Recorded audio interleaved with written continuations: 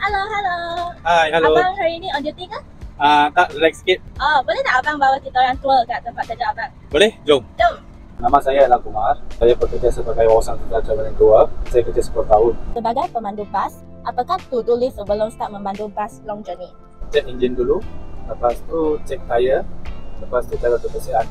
Uh, pernah tak abang jumpa macam perkara yang penumpang dia tinggal kat seat sini ke? Ada, ada laptop, uh, handphone, wallet. Biasanya kita nampak barang macam tu. Uh, kita akan inform sama counter atau manager dulu.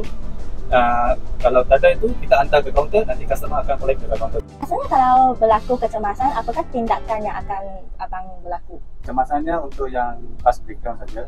Uh, saya akan inform dengan management dulu untuk arrange lagi satu bus untuk transfer untuk customer. Hmm. Saya akan beritahu sama customer lah, jangan panik apa-apa.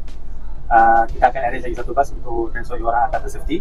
Okey, ada apa komen boleh bagi kepada rakan sekerja ataupun pemandu bas lain? uh, ada komen saya untuk uh, pemandu bas untuk jaga sendiri dulu. Uh, yang kedua, ikut undang-undang di jalan raya. Ya, paling penting ikut peraturan Ya. jalan raya. Okay, so thank you abang untuk share dengan kita pengalaman dia sebagai pemandu bas. See you next time. Bye-bye.